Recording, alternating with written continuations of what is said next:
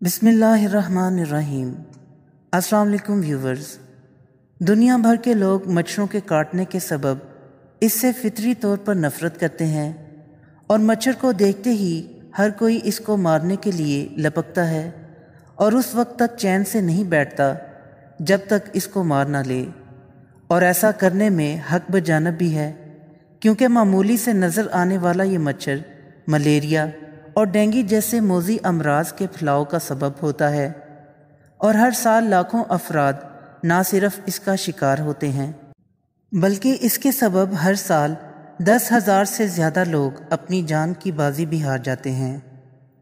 इस वजह से दुनिया भर के साइंसदान सालों से इस जिदोजहद में मसरूफ़ हैं कि ऐसी जरासीम कश अद्वियात बना लें, जिससे इन मच्छरों को हलाक किया जा सके मगर सिंगापुर का शुमार दुनिया के उन ममालिक में होता है, जहाँ पर मच्छरों को मारने की बजाय इनको ना सिर्फ़ पाला जाता है, बल्कि इनकी अफजाइश भी की जाती है।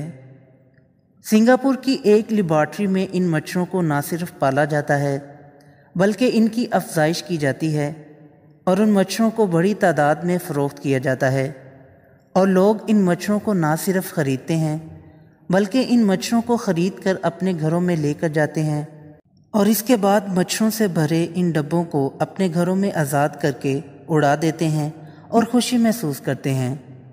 मगर याद रहे, ये पाले जाने वाले मच्छर आम मच्छरों की तरह नहीं होते हैं, जो कि डेंगू और मलेरिया का बायस बनते हैं।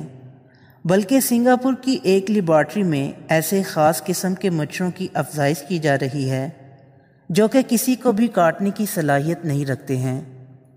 मच्छरों की तादाद में इजाफा इनकी अफजाइश से होता है, मगर इन मच्छरों के अंदर ये सलाहियत मौजूद होती है कि ये आम मच्छरों में शामिल होकर इनकी अफजाइश की सलाहियत को ख़त्म कर देते हैं।